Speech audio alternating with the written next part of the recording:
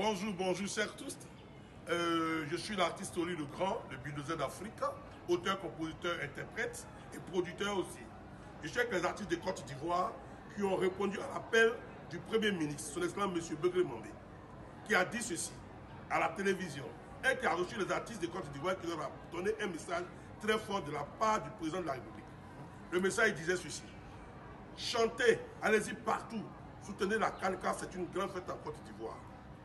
Et ce que nous avions fait tous. Nous sommes rentrés en studio avec notre, nos moyens, nous avons fait des sons qui passent et qui animent les, espaces télévisés en Côte d'Ivoire et c'est un village que vous voyez bien. Aujourd'hui, nous voulons rencontrer le Premier ministre.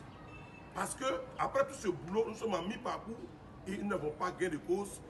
On ne sait pas à qui s'adresser, on ne sait pas où aller avec ces musiques-là. Ça veut dire que nous avons travaillé pratiquement, mais il n'y a pas de suite. Donc nous voulons rencontrer le Premier ministre pour qu'il nous dise encore, les enfants, vous avez chanté, c'est vrai, voilà où vous devez partir, voilà quoi devez aller dans vos fonds. Papa, nous voulons te voir parce que ça ne va pas du tout. Le travail a été fait, mais il n'y a pas de suite. Partout est bouclé. Donc nous adressons à vous ce matin, en tant qu'artiste de Côte d'Ivoire, pour vous dire, papa, tous vos enfants ont un souci, il faut que vous répondiez à ça. Merci, bravo à la Côte d'Ivoire.